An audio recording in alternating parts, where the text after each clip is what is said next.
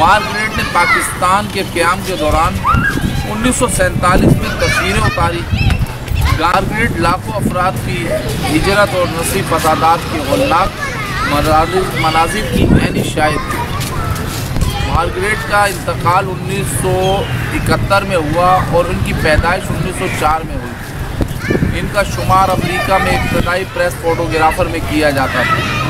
मकबूल आम महाना life magazine की स्टाफ फोटोग्राफर की हैसियत के पास तारीखी मनाजिर को अपने कैमरे की आँख से देखा। इन्हें अक्स बंद किया, वो पहली खातून जंगी नामा निगार थी, जिन्होंने दूसरी जंग अजीम के दौरान महारत की फ़ोटोग्राफरी की और उनको इस महारत पर उस ज़माने में बहुत से अवार्ड भी मिले और उनको गांधी जी मार्गरेट को एक अजियतनाक खातून करार देते थे।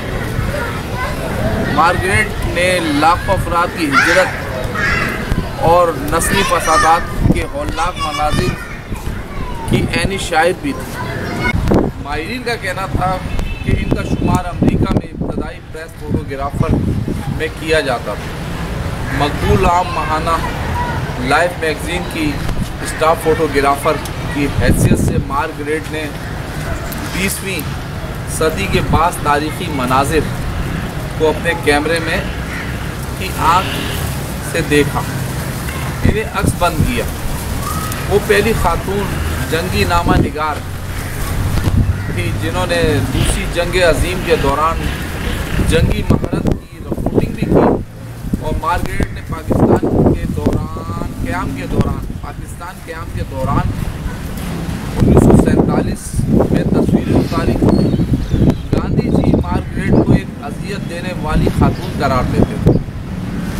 क्योंकि उस ज़माने में इस खातून ने ऐसी तस्वीरें खींची जिनको एक आम आदमी देख नहीं सकता था।